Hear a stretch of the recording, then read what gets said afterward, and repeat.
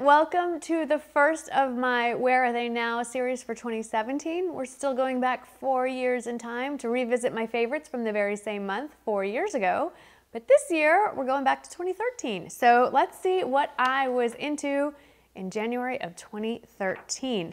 For those of you that are new to this concept, I do have a playlist where I have gone through all of them and I basically just explained what it is that I do. I also encourage anyone who makes YouTube videos to please consider doing this. It's great that you share your favorites with us every month, but then where do they go when you're done? So I have printed out my description box from way back then and I'm just gonna run through it real quickly. If I'm still using it, I'll let you know, and if I'm not, I'll let you know what I'm doing in its place. So the first thing I talk about is Hue Hidden Sock Liners. Now I have to say, full disclosure, I did not actually go back and watch that video. It's painful for me to watch myself. It's bad enough I have to watch it when I edit these videos, but then to sit back and watch another video with me in it, it's just, it's weird. It's weird to see yourself Anyway, so I don't know why I was talking about these in January because right now I am freezing and I would like full on wool socks, but I still wear them. But I have found that Target carries a lot more of them and better price point. So I will link to the Target socks I prefer to wear. Then the next favorite was the Inspector Gamache Mystery Series by Louise Penny. And I'm happy to tell you, still a favorite. This is the latest one that was released um, summer, I believe, of 2016. This is the latest in that series, A Great Reckoning, and it was a great, great book. I do have a tab at the top of my website, msgoldgirl.com, that says bookshelf. If you click on that, you'll see all the books I've been reading in the last year or so, and it gets updated as I read new books. So I just wanted to put that out there if you need some book recommendations. Okay, next was the original Kindle. Speaking of, I still have it. I think it's upstairs. I think I gave it to one of the kids to use. I pretty much read everything on my iPad now. It's not ideal if you're sitting outside in direct sunlight. I, I prefer the iPad because it lights up and then I can read it at night and not have the overhead light on and not bother Michael who's trying to sleep next to me. Then I talk about the Caudalie Vin Vinosource SOS Thirst Quenching Serum. Um, used that up, went through two or three bottles, loved it, and then like most of us who make beauty videos here on YouTube, found something else to play with. And um, most of my, most, not all, but most of my skincare these days in the last, I don't know, two, maybe three years now has been from Colleen Rothschild. Is it any surprise that so is the serum I use? Now, do I use this all the time? No. It sits on my counter where I do my makeup and it's like three days out of seven when I remember to do this. I will put a pump of the Colleen Rothschild Super Serum Age Renewal Super Serum in with my moisturizer. It does all kinds of things to fight the signs of aging. That's great. It would probably work better for me if I remembered to use it consistently. But um, this is my second bottle, so I do like it. But I just, I get to a point where I'm like, how much stuff do I need to put on my face? But if you like a nice serum that does all the things that the Caudalie did, give this one a shot. It's great. Okay, then I talk about two nail polish shades, Zoya Jacqueline and Zoya Julie. I still have them both in my collection. Zoya Julie was a really pretty, very lavender, pale lavender shade. Jacqueline is sort of a bone white, opaque cream shade. I'm kind of off the, the nude nail look, although this is pretty nude, but it's chrome, so it's cool. But the dead hand, I'm over it. And the lavender, maybe in the springtime, to me that screams April, March, not dead of winter. Um, I don't know. I, am kind of like, I don't know what I want to do with my nails. I'm kind of in a weird zone, but that's a whole different video. Then I talked about the MAC Prep and Prime Transparent Finishing Powder. That phase didn't last very long. It's very dusty. It goes everywhere. It's a pain in the tushy to apply. So when I do set my under eye concealer, which is pretty much every day these days, I do reach for this. Um, and I bought this a while back in one of the Sephora sales, and it's the Guerlain Meteorites, um, the pearls in the translucent, mm, smells like violets, translucent shade, and it's so pretty. I mean, come on, this container, gorgeous. Anyway, so yeah, it's shade two, Clair. That's what I use. Honestly, no better delivery system than the little fine powder, because if you spill those balls, they go everywhere, but I like it. Um, then I talked about the Beauty Blender, which is still, I don't know if this is the same, I hope it's not the same one. Yeah, it's probably the same one. I've added at least one more to my collection. I rarely reach for the Beauty Blender. I know so many people prefer using this to put their foundation on. I go in phases, but more often than not, let's face it, every time I use foundation, I use a brush. And my style of brush is a flat top kabuki brush. I get asked this all the time, so here it is. And here's one of the ones that's in rotation. It's from IT Cosmetics, and it is, what is it? It's the Heavenly Luxe Flat Top Buffing Foundation Brush. There you go that's what I like. And you just, I don't like putting it directly on the brush. I like putting it on the back of my hand, dotting it all over my face, and then like stippling and buffing and stipple and buff. There you go. Then I talk about the Sigma Mr. Bunny travel set. I don't, I almost use none of those brushes anymore. I do use the cup holder thingy that it came with a lot but the actual, there's a lot of brushes in that set and I've simplified kind of the way I do, I know it doesn't seem like it, but I have simplified my application of makeup and I don't use all of those brushes. If you're into all that stuff, it's still a great value for money. I love Sigma brushes and we'll get to that in a minute. I do use them more often than almost any, or as much as any other brand that I reach for. But that particular set, mm, not so much. So I'm looking at my list and talking about the Sigma E55 eye shader brush.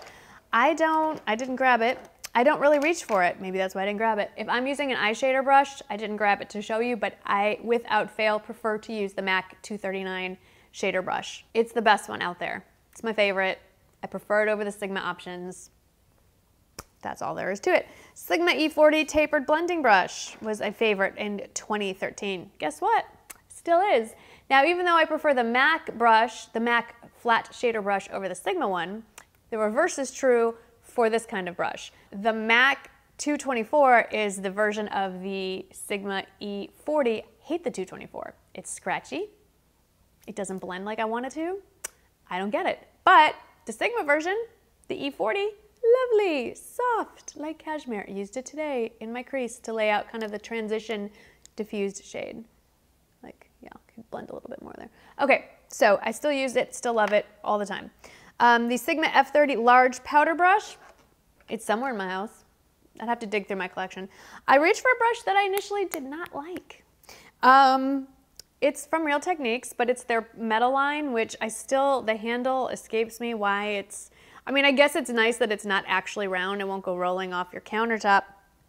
It's the F, I think it's F or 100 powder brush. As you can see, I use it. What I actually like about it is that you don't just, you know, go like that all over your face. You kind of just pat it and lay the powder down.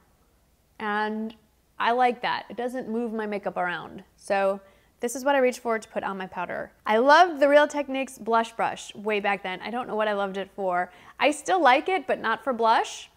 Um, it's too big. The, the head of it is like this big. You don't want your blush to cover the entire side of your face. I mean, unless you have a huge head, which is nice. Um, models generally have larger heads, but um, I don't. So I like it for powder as a backup or bronzer is what I prefer. It's very fluffy, so the bronzer is diffused nicely. What I do use for blush, which is why I grabbed this, is the Real Techniques Multitask Brush, which is part of a set. And see how it just, only the cheek, ding, just like that. That's what I use. And then I went on to talk about my love for the Real Techniques setting brush. I was really into brushes in January of 2013. What was going on then? I don't know. But um, still use it, still love it. I pulled it out of my dirty cup holder, which coincidentally was from the Mr. Bunny travel set.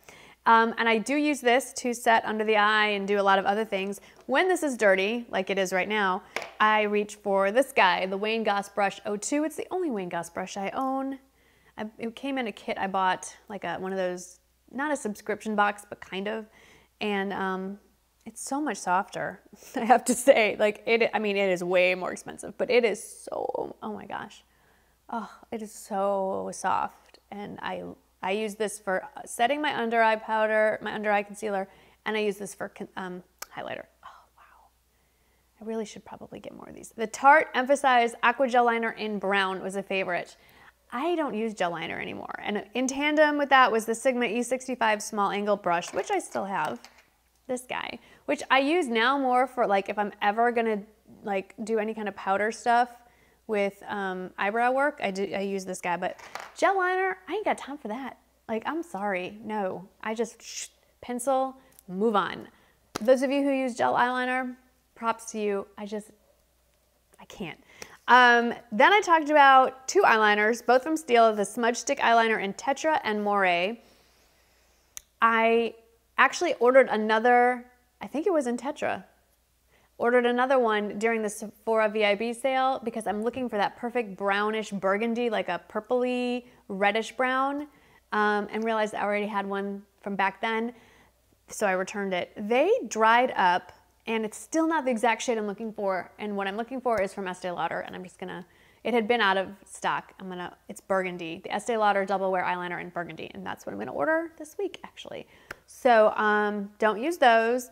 And then um, a couple more items, the NYX eyeshadow in Rust. Don't reach for that at all anymore. I don't even know where that is. If I want a Rust eyeshadow, I go for one of two palette, three things. Uh, two are palettes, either the Tartelette in Bloom, hard to tell in this light, but there's a bunch of rush shades down in this, down in this area. And then uh, if you want some serious rusty shades, we have all of these in the Anastasia Beverly Hills Modern Renaissance palette, definite rusty brown coppery shades there.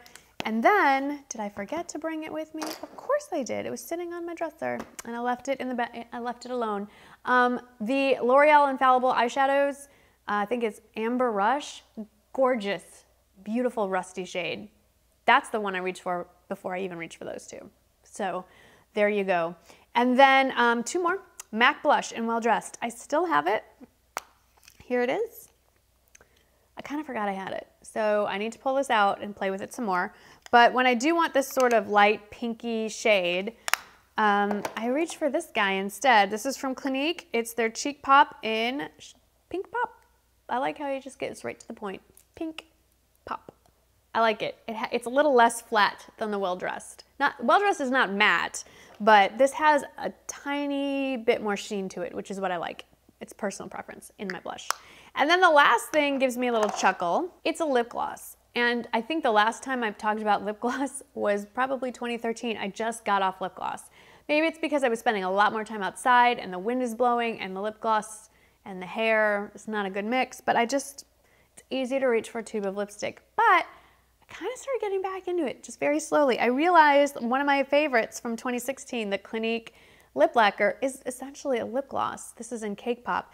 And then I had, um, I don't know where this came from. It might have been the QVC Advent Calendar. This is from Bare Minerals. It's their Marvelous Moxie Lip Gloss in the shade Rebel, which I'm wearing now. And I really, I mean, isn't this a pretty color? I really, really like it. I keep looking in the monitor because I'm like, oh, this is pretty. Um, so I don't know, maybe I will branch out to lip gloss. The lip gloss I mentioned, I should say, was the Revlon Color Burst Lip Gloss in Rose Pearl. Let's take a moment of silence and mourn for the loss of the Revlon Color Burst line, shall we? I miss those lipsticks. The, um, the quilted, the lip butters, the original lip glosses. Revlon, why? You had a good thing going there. I think Revlon has never come back from that. Like Revlon was all over the internet when they had those color burst lip butters and the original lip glosses. And when they got rid of that, have we ever heard about Revlon since? Really? No. That was kind of the death of Revlon on YouTube. Hmm. Just saying, bring it back, Revlon. Bring it back. Anyway, that's it for my favorites from January 2013. Where are they now? Most of them are kind of still around. I'd say about half, maybe more than half. Anyway, if you do these videos, please tag me and let me know. I would love to have a watch. If you know of a YouTuber that doesn't, tell them to do it. Harass them. I want to watch a lot of these. I love, I want to see what happened to everybody's collections. Um, Anyway, I hope you enjoy these. Like I mentioned, there is a playlist and I will put it in a card and I will put it in the description box and I will also link to the original video in the description box below if you want to have a little chuckle and see if anything's changed in the four years since I first put this one up. Thank you so much for watching. Can't wait to read your comments and I'll see you in the next video. Bye-bye.